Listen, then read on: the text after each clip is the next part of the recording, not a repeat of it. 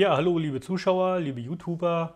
Ähm, an dieser Stelle möchte ich euch mal kurz die Facebook Timeline vorstellen, beziehungsweise ein bisschen näher darauf eingehen. Die ist ja gerade in aller Munde äh, mit viel Kritik und ich hoffe, ich kann euch ein bisschen äh, die Angst vor der Timeline nehmen. Facebook möchte ja demnächst die Timeline für alle einführen. Ähm, hier seht ihr einen kleinen ähm, Testaccount von mir. Ähm, so, dann zeige ich euch das Ganze erstmal. Ist klar, das ist jetzt Facebook mit dem alten Design. Ähm, das dürften noch einige von euch haben. Das ist direkt die Startseite. Und dann gehen wir mal direkt auf Neuigkeiten. Ja, das sieht jetzt so aus. Können wir mal ausblenden hier. Vier neue Meldungen. So, das sind jetzt so ein paar Beiträge, die ich extra vorhin geschrieben hatte. Ähm, das Ding war noch komplett leer. Das ist ein älterer Testaccount von mir. So, ich habe den jetzt noch ein bisschen mit Daten vollgepackt. Jetzt gehen wir mal auf das Profil. Ja, das ist die äh, bisherige Darstellung von Facebook ohne Timeline. Ihr könnt jetzt hier Profil bearbeiten aus der Sicht von etc. Schule, Stadt hinzufügen, das Übliche. Äh, man hat hier oben bei Kontoeinstellungen, Privatsphäre-Einstellungen die Möglichkeit, das Ganze noch ein bisschen zu verfeinern. Wenn man jetzt hier einen Beitrag schreibt, dann kann man hier hinzufügen, mit wem man unterwegs war, während man diesen Beitrag quasi schreibt. Zum Beispiel, ich bin gerade da und da, kann man auch gleich den Ort mit angeben. Man kann das Ganze benutzerdefiniert einstellen, öffentlich, Freunde oder nur für sich selbst. Das heißt, es sieht dann sonst auch keiner. Öffentlich, dann sehen es halt alle. So, und dann benutzerdefiniert. Hier können wir dann das Ganze nochmal verfeinern. Bestimmte Listen, die man angelegt hat oder nur Freunde etc. Hier kann man Personen oder Listen ausschließen. Ähm, sehr gut für die Sicherheit, wenn man zum Beispiel neue Kontakte hat, dann nimmt man eine Liste an neue Kontakte und ähm, dann sagt man hier neue Kontakte, äh, neue, neue Kontakte ähm, und die Liste ist dann entsprechend ausgeschlossen von dem Beitrag, den man dann in dem Moment postet. Ja, dann gehen wir mal weiter zum Thema Timeline. Da muss man das Ganze natürlich erstmal aktivieren. Ne? Da geht man einfach auf facebook.com slash timeline. Ja, und ganz unten auf dieser Seite steht dann hier Hole die Chronik im Footer. Ähm, wenn ihr das nicht habt, dann ist euer Profil dafür noch nicht freigeschaltet. Das heißt, ihr seid vielleicht neu bei Facebook ähm, oder aus irgendeinem anderen Grund habt ihr diese Option nicht. Es gibt Mittel und Wege, die etwas komplexer sind, äh, um das trotzdem zu machen. Äh, mein Tipp, wartet es einfach ab. Wird sowieso bald für alle eingeführt. Und manche wollen es ja sowieso nicht. Also aktivieren wir jetzt einfach mal die Chronik, indem wir auf Hole die Chronik gehe. So, das war es im Prinzip schon. Jetzt ist die äh, Timeline aktiviert. Und wie ihr seht, sieht das Ganze schon ein bisschen anders aus. Hier steht auch, dass die ganze Chronik am 5. Februar erst veröffentlicht wird. Bis dahin sehen die Besucher das Ganze noch im alten Design, also so wie ihr es eben gesehen hattet. Jetzt habe ich noch Zeit bis zum 5. Februar, um Sicherheitseinstellungen vorzunehmen und das Ganze hier ein bisschen zu begutachten. Hier sieht man halt, ähm, dass man hier oben direkt zu den Jahren springen kann und auch zu den Monaten. Hier Dezember zum Beispiel, 2012 dann in dem Fall. Klicken wir auf 2011 da jetzt hier keine Daten drin sind, habe ich jetzt keine Monate zur Auswahl. Aber im Prinzip kommen dann hier 2011, dann Januar, Februar, März und so weiter. Dasselbe für die anderen Jahre. Zumindest, wenn ich Daten drin habe und die auch entsprechend freigegeben sind. So, so sieht halt momentan die Timeline aus. Und ich kann natürlich auch gucken, ähm, dass ich das Ganze ein bisschen verschöner. Und zwar kann ich hier bei der Timeline ein Titelbild hinzufügen. Also nicht nur ein Profilbild, sondern auch ein Titelbild. Das heißt, das mache ich jetzt einfach mal. Ich äh, lade in dem Fall ein Foto hoch. So, nachdem das Foto jetzt geladen ist, kann ich das Ganze auch neu positionieren. Also hoch, runter oder kann es vorher schon in der passenden Größe äh, erstellen. Machen wir jetzt einfach mal so. Und dann kann ich das Ganze speichern. Ähm, das Foto ist auch immer öffentlich, also dieses Titelbild, was ihr habt, das könnt ihr nicht privat stellen. Solltet also auch aufpassen, was ihr als Titelbild nehmt, denn das sieht jeder. So, damit wäre jetzt das Ganze ein bisschen schöner. Ja, ich kann jetzt hier mal auf Rundgang beginnen.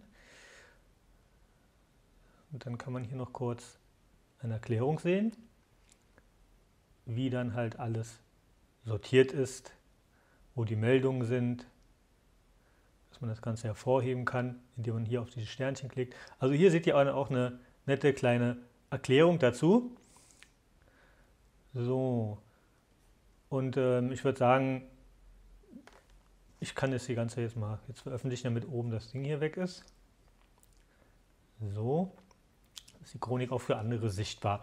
Ja, was hält man die sieben Tage oder ja, sieben Tage sind ungefähr Zeit hat, ist ganz einfach. Äh, viele haben vielleicht noch ältere Beiträge, die öffentlich sind. Zum Beispiel habe ich jetzt hier testweise alle Beiträge öffentlich, also fast alle hier öffentlich. Das hier ist auch öffentlich. Und ähm, hier ist einmal nur für Freunde und das hier ist Benutzer definiert für Freunde von Freunden. Also momentan ist es so, dass diese Beiträge hier mit dem Globus für alle öffentlich sichtbar sind. Wenn man jetzt nun äh, ältere Beiträge hat, zum Beispiel auch 2009 oder tausende Beiträge, dann ist es sehr umständlich, alles runter zu scrollen, runter zu scrollen und dann entsprechend einzustellen. Ähm, man kann es ein bisschen vereinfachen, indem man das Profil aus der Sicht von anzeigen lässt und äh, in dem Fall Freunde eingeben oder aus der Sicht von der Öffentlichkeit. Und die Öffentlichkeit sieht das ganze Profil jetzt so. Also das wäre jetzt, ähm, wie das Profil für Leute aussieht, die nicht auf meiner Freundesliste sind.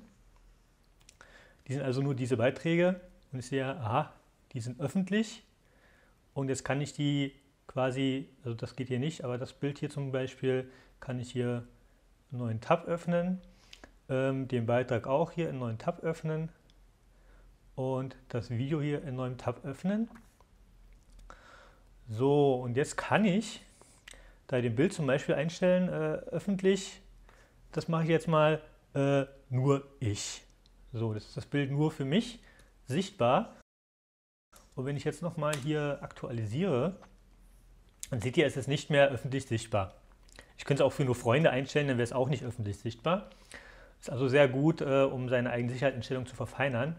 Und wer möchte, kann auch über die Menüoption hier oben, Privatsphäre-Einstellungen, äh, auf Beschränke das Publikum für ältere Beiträge gehen. Ich hoffe, das klappt jetzt, weil die sind relativ neu. Ähm, und da kann man jetzt alle alte Beiträge beschränken und bestätigen. Und jetzt sollten alte Beiträge im Prinzip auf ähm, nur Freunde können Sie sehen gestellt sein. Gucken wir das Ganze hier nochmal an. So. Ja, und wie ihr sehen könnt, deine Freunde, deine Freunde, deine Freunde. Also selbst die Beiträge von Freunde für Freunde sind jetzt auf deine Freunde gestellt. Und jetzt würde das Ganze so aussehen, aus der Sicht von der Öffentlichkeit. Ja, was jetzt schon. Voilà. Also es ist alles was älter ist, in dem Fall also alles, ähm, auf nur meine Freunde können es sehen gestellt. Darauf äh, solltet ihr aber natürlich auch achten, dass ähm, ihr in die Freundesliste nicht jeden aufnimmt oder fremde Leute, wenn ihr fremde Leute aufnehmen wollt, ähm, sie in die Liste eingeschränkt sortiert. So, wenn ihr da noch Fragen habt, dann könnt ihr mir natürlich äh, stellen. Vielleicht mache ich da noch ein zweites Video dazu, wenn da spezielle Fragen sind. Aber ansonsten wäre das halt so die Chronik zeige ich es mal wieder aus meiner Sicht an. Ja, manche mögen es nicht mit dieser Zwei-Spalten-Ansicht. Gut, am Anfang dachte ich auch, das ist sehr verwirrend äh, und chaotisch, weil man vorher alles untereinander hatte und jetzt hat man hier diese zwei Spalten. Aber das ist relativ einfach. In der Mitte seht ihr die Linie, das ist quasi die Timeline. Und hier seht ihr dann Knotenpunkte. Das ist einmal hier für neue Beiträge, ne? genau wie vorher. Nur habt ihr jetzt noch die Option, ihr könnt eintragen, in welchem Jahr das war, in welchem Monat und an welchem Tag. Und dann könnt ihr halt Ereignisse nachtragen. Lebensereignis könnt ihr auch hinzufügen, Arbeit, Familie und so weiter. Das ist also für Leute, die quasi ähm, aktuelle Ereignisse eintragen wollen oder rückwirkend quasi ihr Tagebuch online bringen wollen. Vorsicht damit, ne? ihr wisst ja, ähm, das Internet vergisst eventuell nie, wenn ihr Pech habt. Also solltet ihr Sicherheitseinstellungen lieber ein bisschen zu hoch wählen als zu niedrig. So, das gehen wir mal etwas tiefer in die Materie. Und zwar haben wir hier noch die Option für die Größe verändern und hier kann man den Beitrag natürlich auch entfernen oder ändern. Man kann das Datum ändern, also es war gar nicht vor elf Minuten, es war vielleicht, ähm, sagen wir mal, 2012, Januar, ähm, am 10. Januar. So, schwupp. Und jetzt sollte der Beitrag eigentlich verschoben werden.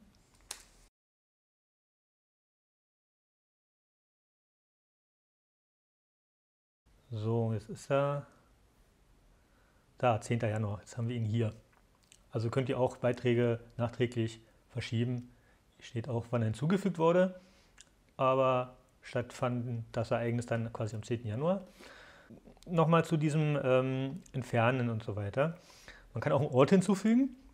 Man kann den Beitrag aus der Chronik entfernen, das heißt, er wird hier nun nicht angezeigt, ist aber ansonsten äh, noch im Profil vorhanden. Oder man kann ihn löschen, dann ist er nicht mehr im Profil vorhanden. Ähm, was nicht unbedingt heißt, dass Facebook ihn aus der Datenbank löscht. Da gibt es momentan noch so eine ähm, Probleme mit, weil Facebook wohl Daten nicht vollständig löscht derzeit. Wird wahrscheinlich demnächst dazu verdonnert werden.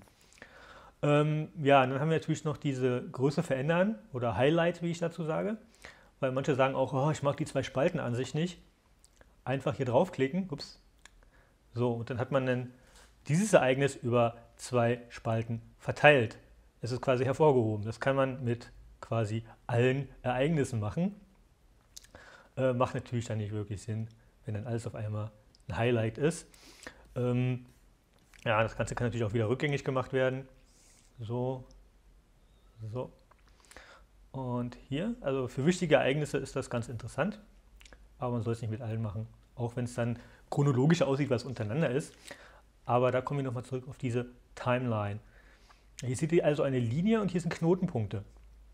Einmal hier oben, das sind halt quasi die aktuellsten Ereignisse, sind weiter oben und je weiter nach unten geht, desto älter sind die Ereignisse. Das zum Beispiel halt vor 16 Minuten ist hier gewesen, dann vor 18 Minuten war hier. Ein paar Sekunden früher, auch vor 18 Minuten, war dieser Beitrag. Und vor 21 Minuten Profilbild, vor 22 Minuten den Testaccount und so weiter. Es ist also völlig einfach strukturiert untereinander. Und wenn man weiß, nicht, nicht genau weiß, was ist älter, der linke oder der rechte Beitrag, dann guckt man auf die Zeit. In dem Fall, okay, hier weiß man es quasi nicht anhand der Zeit, weil sie zum selben Zeitpunkt quasi gemacht wurden. Aber durch diese kleine Timeline hier sieht man, aha, der Beitrag ist neuer als der Beitrag. Ja, ich denke mal, das dürfte so die Timeline im Großen und Ganzen sein. Ähm, Facebook benutzt das Ganze für ähm, Werbung, die auf euch zugeschnitten ist. Das Ganze funktioniert automatisch. Da gibt, sind irgendwelche Begriffe bei euch im Profil und anhand dieser Begriffe äh, werden entsprechende Werbung eingeblendet. Also da liest keiner persönlich eure Werbung, äh, eure Einträge oder sowas. Das ist totaler Blödsinn. Dafür wäre gar keine Zeit und würde keiner bezahlen können. Und dann entsprechend halt wird Werbung eingeblendet, außer ihr habt einen Werbeblocker. Und hier könnt ihr natürlich auch noch weitere Informationen hinzufügen, wie euren Arbeitgeber, Schule und so weiter. Und da ganz wichtig auch eintragen, wer es denn sehen darf. Muss ja nicht unbedingt jeder sehen, wo man arbeitet, wann man wo gearbeitet hat, wann man wo zur Schule ging und so weiter. Es reicht ja, wenn da zum Beispiel nur Freunde sehen oder auch Freundesfreunde. Dann kann man es über sich schreiben etc. Kontaktinformationen hinzufügen, Telefon, E-Mail, Handy, Ort und so weiter und dementsprechend immer einstellen, wer es sehen darf. So, eine E-Mail-Adresse braucht ihr übrigens nicht zu schreiben, die ist uralt. Ähm, so. Ja, also wie ihr gerade gesehen habt, äh, wenn man zur Startseite geht, da ist es noch wie früher. Man kann jetzt hier auf Neuigkeiten halt gehen und ist quasi noch wie vorher. Ähm, und auf dem eigenen Profil sieht es halt mit dieser Timeline schön geordnet aus. Mir gefällt sie, anderen gefällt sie nicht, warum auch immer. Aber äh, nach zehn Minuten spätestens war ich dann damit konform und wusste genau, wie das strukturiert ist und wie das ging. Man hat hier auch noch die Angaben für Freunde, gefällt mir und so weiter. Gut, ich habe jetzt hier keine Freunde in dem Profil, kann ich euch also nicht entsprechend zeigen, aber ist wie bei Fotos, man klickt drauf und dann sind dann halt die Freunde entsprechend angezeigt mit Namen und hier in dem Fall halt die diversen Fotoalben, die man hat. Man kann die Alben dann auch entsprechend ähm, ähm, einstellen. Hier steht halt zum Beispiel, ne, wo war es? So, hier kann man bei, der, bei den Pinwandfotos pro Foto die Sicherheitseinstellung ändern. Und bei den Profilbildern kann man hier einmal ähm, pro Album ändern. Das sind jetzt halt nur meine Freunde.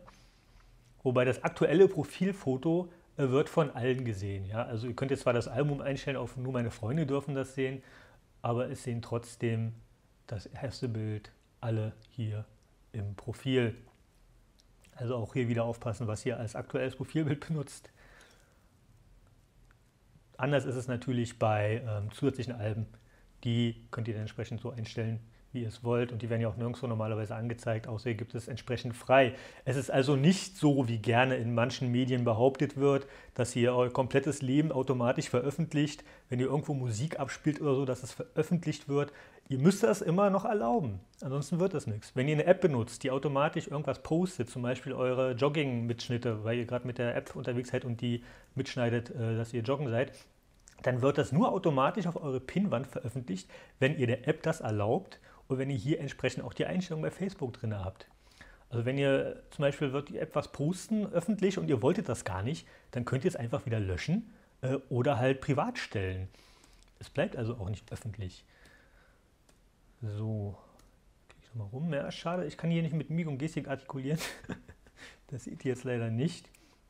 Ähm, ist also ein bisschen, bisschen langweilig, das Ganze zuzusehen, ich weiß. Aber ich hoffe, es war trotzdem einigermaßen informativ für euch. Und äh, wenn ihr noch Fragen habt, dann kommentiert es einfach darunter. Und wenn ihr noch ein Video braucht mit irgendwelchen weiteren Informationen, wie man das Ganze hier benutzt oder so, äh, dann fragt und ich versuche es äh, nachzureichen.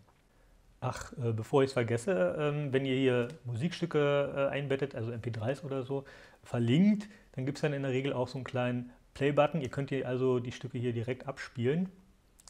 Und ähm, ja, dasselbe gilt natürlich auch für Videos, äh, die ihr hochladet oder hier in dem Fall äh, bei YouTube habt. Das ist jetzt ein Video von mir. Ähm, und das ist also wie gehabt quasi. Ihr solltet aber darauf aufpassen, dass, äh, wenn ihr Sachen postet, besonders wenn ihr öffentlich postet, ähm, dass eure eigenen sind ähm, oder ihr die Erlaubnis dafür habt, weil man kann damit schnell in Bredouille geraten, wenn man jetzt äh, zum Beispiel Bilder postet, hochlädt und öffentlich stellt die gar nicht von euch sind, weil die urheberrechtlich natürlich geschützt sind. Da müsst ihr schon den Urheber fragen, ob ihr das machen dürft. Ansonsten kann es sehr teuer werden. Ja, soviel zur kurzen Information zur Facebook Timeline. Ähm, und ich hoffe, ich konnte euch damit ein bisschen äh, Klarheit verschaffen. Und wenn ihr noch Fragen habt, dann wie gesagt einfach kommentieren und eventuell Videos kann ich dann ja nachreichen, wenn ihr da noch mehr wissen wollt.